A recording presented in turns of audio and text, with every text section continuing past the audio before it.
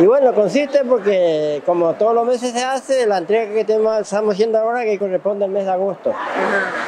Bueno, eh, ¿qué tipos de bolsas?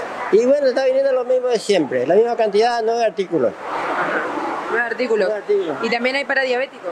Sí, hay también para el bolsón A, que son para los comunes, y los diabéticos vienen también. Bueno, eh, ¿cuántos diabéticos son? Eh? 28, 27, 27. ¿Y qué debe presentar el afiliado para poder recibir este beneficio? Y bueno, tiene que, si es diabético, tiene que presentar certificado médico que es diabético, ¿no? Con la historia clínica, y eso es todo. Bueno, ¿cómo se está realizando la entrega? Muy bien, muy bien, espectacular, está muy bien está. Bueno, al mal tiempo. Normalmente sí, sí, sí. Está respondiendo a la gente, vienen a retirar su bolsita. ¿Alguna novedad eh, o algo previsto del centro jubilado, Ramón?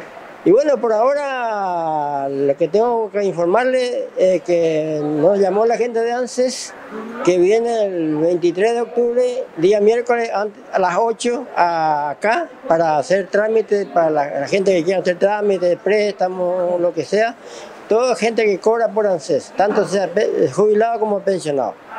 Eh, ¿Qué debe presentar el afiliado para poder...? Ellos, tienen que ser que, son de PAMI, mejor dicho, y que cobran por ANSES. Y, y entrar su documento, ponerle el carnet, el carnet, el carnet y nada más. ¿Qué significa esto para, para, los afiliados que vengan a la delegación de la CG? Es importante porque acá yo veo los, servicios que nosotros gritamos a ellos y que ellos están a disposición de ellos.